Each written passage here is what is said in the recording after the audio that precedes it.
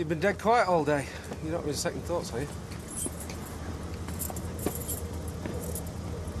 Mick, I don't think I can do this. Hey, you!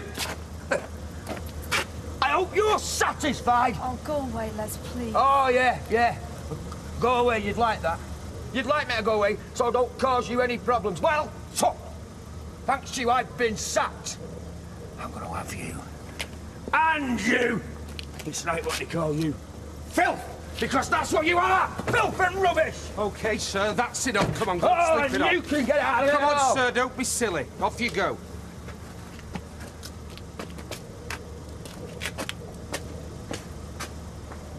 You OK? Yeah. Listen, Emma, we... Look, just Mick, just go home. I'll see you tomorrow.